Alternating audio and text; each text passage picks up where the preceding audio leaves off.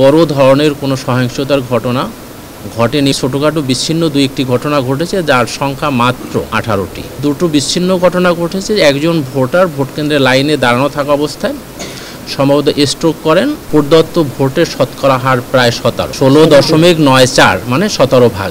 দুপুর বারোটা পর্যন্ত তেরো হাজার একশো পঞ্চান্নটি ভোট কেন্দ্রের মধ্যে দশ হাজার ভোট কেন্দ্রের প্রাপ্ত তথ্য।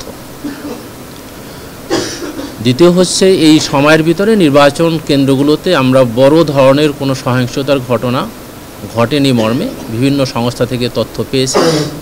ভোট কেন্দ্রের বাইরে ছোটোখাটো বিচ্ছিন্ন দুই একটি ঘটনা ঘটেছে, যার সংখ্যা মাত্র আঠারোটি। যার মধ্যে একটি ঘটনায় একজন ভিকটিমকে আমাদের রাজবাড়ির বড়ইখালী প্রাইমারি বিদ্যালয় কেন্দ্রের সম্মুখে ঘটেছিল। দুই পক্ষের প্রার্থীদের মধ্যে তাকে পিঠে কোপ দেওয়া হয়েছে। সেই ভোটার বা অথবা কর্মীকে হাসপাতালে ভর্তি করা হয়েছে। জেলা প্রশাসক রাজবাড়ির সাথে আমার কথা হয়েছে, তার শারীরিক অবস্থা আশঙ্কামুক্ত। আর এছাড়া দুটো বিচ্ছিন্ন ঘটনা ঘটেছে, একজন ভোটার ভোট কেন্দ্রের লাইনে দাঁড়ানো থাকা অবস্থায় সম্ভবত স্ট্রোক করেন, হাসপাতাল নেওয়ার পর ডাক্তার তাকে মৃত্যু ঘোষণা করেছেন এবং রাজশাহীতেও আমাদের একজন আনসার বিটিভি কর্মী, মূলত তিনি সকালে স্ট্রোক করে ওই ক্যাম্পে মানে ভোট কেন্দ্রে মারা গিয়েছে যেটার সাথে নির্বাচনের সহিংসতার কোনো সম্পর্ক নেই। আমরা আশা করি বিকেল চারটা পর্যন্ত সুষ্ঠুভাবে ভোট গ্রহণ কার্যক্রম সম্পন্ন করতে সক্ষম হব। উনি? রাজবাড়ির ওই বড়াইখালী একই প্রাইমারি কেন্দ্রের। ওনার বয়স পঞ্চান্ন বছর তাকে হাসপাতালে নেওয়ার পর ডাক্তাররা তাকে মৃত্যু ঘোষণা করেছে।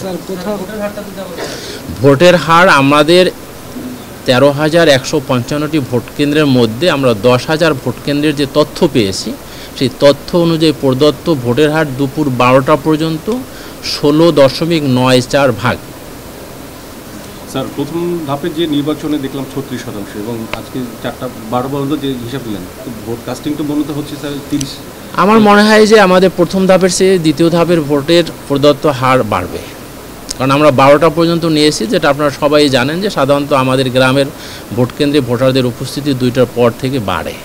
যেমন সকাল নয়টার পরে কিন্তু অনেক জায়গাতেই ভোটারদের উপস্থিতি কম ছিল কিন্তু বারোটার সময় আপনাদেরই সহকর্মীরা যারা লাইভ দেখাচ্ছিলেন বিশেষ করে নারায়ণগঞ্জের দুটো লাইভ আমি দেখতেছিলাম সেখানে আপনাদের সহকর্মী বলতেছিলেন যে সকালে যে হারে উপস্থিতি ছিল এখন তা থেকে অনেক অনেক গুণ বেশি। তা আমরা প্রত্যাশা করি অবশ্যই আমাদের ভোট প্রদানের হার বৃদ্ধি পাবে।